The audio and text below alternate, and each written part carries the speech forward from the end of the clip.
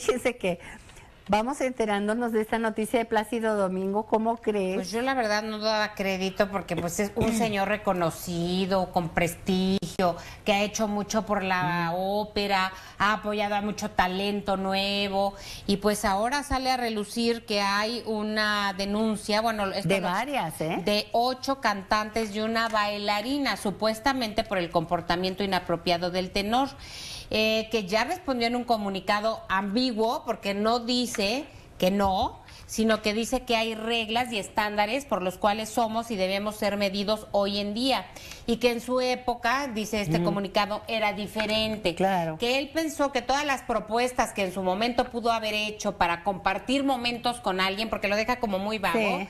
eran con- con- bajo consenso mutuo. Ay, claro, así era. Así era, y dice, y ahora lamento Ahora resulta, saber sí. que la gente se molestó o le pareció mal o le pareció inapropiado. Sí, pero mira, también esto lo vienen contando. eh, Tiene razón Plácido, en esa época, pues tú le echabas el perro, si, si un galán como Plácido Domingo, que era guapísimo, hasta, hasta la fecha, siendo un señor ya mayor, está guapísimo, muy encantador, muy ojo alegre, te echa el perro y estás de acuerdo en irte a la cama o a cenar o a lo que tú quieras con Plácido Domingo, ¿cuál es el problema?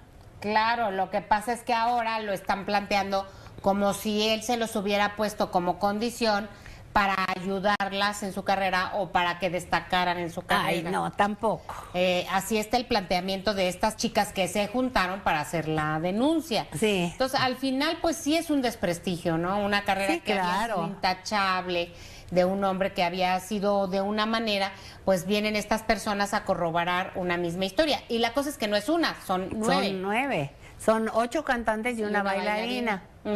Es como si, bueno, no sé, te dice, antes se usaba diferente, pues.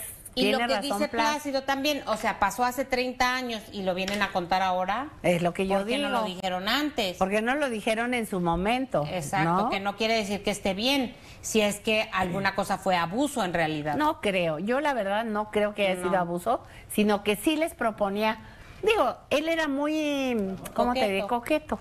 Y las otras caían porque no era, Juan, Juan Pérez era Plácido Domingo y guapísimo y encantador y cantante y famoso, Famoso y y- rico, bueno,